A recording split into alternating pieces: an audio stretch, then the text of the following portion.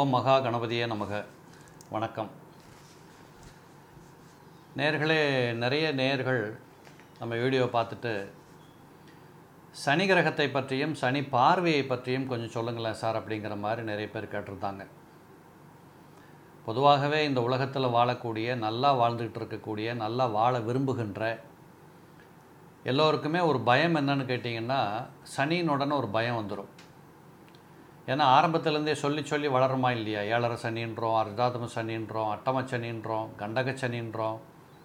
இப்படி எத்தனை சனி தான் இருக்குது சார் இந்த உலகத்தில்? ஒருத்தருக்கு இவ்வளவு வேலை கொடுத்துருக்குதா? இத்தனை ஒரு இத்தனை விதமான காரணங்களில் இந்த சனி கிரகம் நம்மளை பாழாப்படுத்துமா? இது நிறைய பேர்களுக்கு கொஞ்சம் பயமுமே அதிகமாக உண்டு. உண்மைதான். ஏன்னா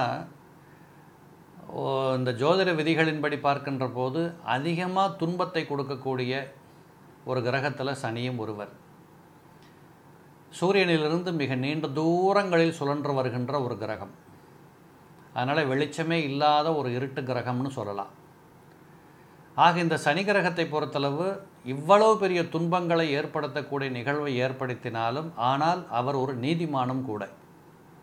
இப்போ எப்படின்னா உதாரணமாக நம்ம வந்து பரீட்சைக்கு படிக்காமல் போயிட்டோம் அப்படின்னா ஃபெயில் ஆகித்தானே தீரணும். அதுதானே நியாயம்.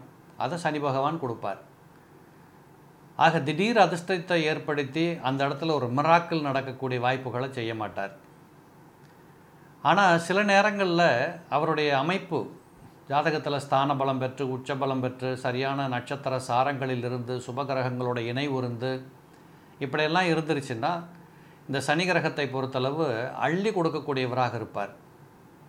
இதில் இன்னொரு பியூட்டி என்னென்னு தெரியுமா? மற்ற கிரகங்கள் வந்து அவங்க கொடுக்கறதவே அந்த ஜாதகர் அனுபவித்து கெடுத்துற அளவு கொண்டு விட்டுடும். சில கிரகங்கள் கொடுக்கறத கடைசியில் ஜாதகர் காப்பாற்றிக்க முடியாமல் இருப்பார். இந்த சந்திர தசையை பார்த்தீங்கன்னா நிறைய பேர் ஓஹோன்னு சம்பாதிப்பாங்க. கடைசியில் போக போக பார்த்தீங்கன்னா எல்லாமே சிக்கலில் போய் நிற்கும் சம்பாரித்ததெல்லாம் வீணாக போயிடுச்சோன்னு ஒரு பயம் வந்துடும் இது எல்லா சந்திரதசையும் அப்படி இல்லை. சில பேர்களுக்கு சில இடங்களில் அமர்கின்ற சந்திர தசை. ஆனால் இந்த சனி கிரகத்தை பொறுத்தளவு அவர் ஒரு பலன் பண்ணி கொடுத்துட்டாருன்னு வச்சுக்கோங்களேன்.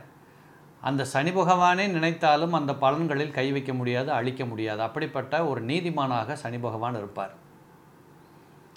இப்போ இப்படிப்பட்ட கிரகத்தின் பார்வை என்பது என்ன செய்யும் அப்படிங்கிற போது இதை தெரிஞ்சுக்கிறதுக்கு முன்னாடி அவரை பற்றிய சில விஷயங்கள் இன்னும் தெரிஞ்சுக்கணும். தெரிஞ்சுக்கிட்டால் உங்களுக்கு புரியுறது ஈஸியாக இருக்கும். சனி கிரகத்தை பொறுத்தளவு அழுக்கு இருட்டு கபடம் சூது தேவையில்லாத சாவகாசங்கள் பழக்க வழக்கங்கள் நிறைய பேர் பார்த்திங்கன்னா ஆயில் இண்டஸ்ட்ரியில் வேலை பார்க்குறவன் சனி பகவானுடைய ஆதிக்கத்தில் பிறந்திருப்பார். சுரங்கத்தில் வேலை பார்க்குறவங்க சனி பகவானுடைய ஆதிக்கத்தில் பிறந்திருப்பாங்க. இருட்டுக்குள்ளே வேலை பார்க்குறவங்க நைட் ஒர்க்குக்கு போகிறவங்க இவங்கெல்லாம் சனி பகவானுடைய ஆதிக்கத்தில் பிறந்திருப்பாங்க. கபட சூது நாடகங்கள் புரோக்கரேஜு இந்த நம்பர் டூ பிஸ்னஸ் பண்ணுறவங்க இந்த உலகியல் வாழ்க்கைக்கு அப்பாற்பட்ட தேவையற்ற பொருட்களை விற்று பிழைப்பு நடத்தக்கூடியவர்கள் தேவையற்ற இடங்களுக்கு போய் தேவையில்லாத வேலையை மூட்டி விடுறவங்க இப்படிப்பட்ட விஷயங்கள் எல்லாம் இந்த சனி பகவானுடைய செயல்பாடுகளில் வரக்கூடிய காரகத்துவம். இதே சனி பகவான் தான் ஆயுளுக்கும் காரண காரகனாக இருக்கிறார். சனி கிரகத்துக்கு தான் ஆயுள் கட்டுப்பாடு என்பது உண்டு. அவர் நினச்சா ஒருத்தர் கொள்ளுவார் ஆக சனி கிரகத்திற்கு ஆயுளை கட்டுப்படுத்துகிற அந்த ஆயுள் காரகனாகவும் ஜாதகத்தில் இருக்கிறார். ஆக இப்படிப்பட்ட இந்த சனி கிரகம் சரியான இடத்துல இல்லை சரியானபடி அமையலை ஜாதகத்தில் அவயோகஸ்தானத்தில் உட்காந்து அவர் திசையை நடத்த போகிறார் அப்படின்னா இப்போ நான் சொன்ன பாருங்கள் இந்த மாதிரியான எல்லா விஷயத்தையும் ஜாதகருக்கு தேவையில்லாமல் நல்ல மனுஷன் திடீர்னு கெட்டவன் ஆகிடுவான் சுறுசுறுப்பானவன் திடீர்னு சோம்பேறி ஆகிடுவான் ஸோ நல்ல புத்தியோட ஒழுங்கான தொழில் பண்ணிகிட்டு இருந்தவன் தொழிலை விட்டுட்டு ரோட்டுக்கு வந்துடுவான் இப்படி சனி கிரகத்தின் அமைப்பு என்பது சரியாக இல்லாவிட்டால் அதாவது எல்லா லக்னத்திற்குமே முதல்ல சனி கிரகம் நல்லதை செய்வாராங்கிறது ஒரு கேள்விக்குறி உண்டு. அதையும் குறிப்பாக கடக லக்னம் சிம்ம லக்னத்தில் பிறந்தவர்கள் மீன லக்னம் தனுசு லக்னத்தில் பிறந்தவர்கள் மேச லக்னம் விருட்சகத்தில் பிறந்தவர்கள் இந்த ஆறு பேர்களுக்குமே இந்த சனி கிரகத்தை பொறுத்தளவு சற்று உன்னிப்பாக கவனிக்கப்பட வேண்டியது ஜோதிட கிரந்த விதிகள் சொல்கிறது அப்போது மீதி இருக்கக்கூடிய இந்த ஆறு லக்னங்களில் பிறந்தவர்களுக்கு அதிகபட்ச நன்மை செய்யுமான்னு கேட்டால் அங்கேயும் கூட அவர் இருந்த இடம் யார் பார்த்துக்கிட்டு இருக்கிறாங்க? சுபகிரகங்களின் நட்சத்திர சாரத்தில் இருக்கிறாரா? சுபத்தன்மையோடு இருக்கிறாரா? இதெல்லாம் ரொம்ப கவனிக்கப்பட வேண்டியது. இப்போ ஒரு கேள்வி கேட்கலாம். கடகலக்கணத்தில் பிறந்தவர்கள் மிகப்பெரிய ஆட்சி அதிகாரங்களை கைப்பற்றியிருக்கிறார்கள். அதுவும் சனி மகாதசையில் தான் நடந்திருக்கு அப்படின்னு ஒரு கேள்வி கேட்டிங்கன்னா அதான் நான் முதல்லே சொன்னேன். அவர் மிகப்பெரிய நீதிமான். கொடுக்க நினைத்தார் என்றால் யாரும் தடுக்க இயலாது. காரணம் அவருடைய பலம் சரியாக இருக்க வேண்டும். கடகலக்கணத்தில் பிறந்தவங்களுக்கு கூட சனி கிரகம் பெருசாக செய்துன்னா அவர் எந்த இடத்துல இருக்கிறாரு? பொதுவாக மூன்று ஆறு பதினொன்றில் இருந்தால் ரொம்ப விசேஷம். அதுபோல் சுபகிரகங்களின் பார்வை பெற்றிருக்கணும். சுபகிரகங்களின் நட்சத்திர சாரம் பெற்றிருக்கணும். சனி இருந்த நட்சத்திராதிபதி வலுவாக ஜாதகத்தில் வீற்றிருக்கணும்.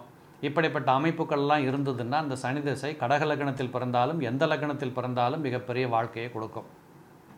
சரி இப்போது சனி பார்வை நன்மையை செய்யுமான்னு கேட்டிங்கன்னா இப்போ நீங்கள் நான் சொன்னதை பூரா மனசில் வச்சுக்கிட்டு பா கேட்கணும். சனி பார்வை என்பது உதாரணத்துக்கு லக்னத்திலிருந்து ஏழாம் இடத்தை பார்த்து கொண்டிருக்கிறார். அவர் எந்த லக்னமானாலும் எடுத்துக்கோங்க.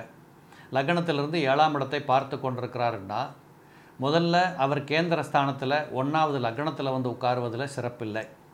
அப்போ அந்த பார்வை என்பது ஏழாம் பார்வையாக ஏழாம் இடத்தை பார்க்குறாரு அப்படின்னா ஏழாம் இடம் என்பது களத்திரஸ்தானம் கல்யாண யோகத்தை சுட்டி காட்டுகிற இடம்.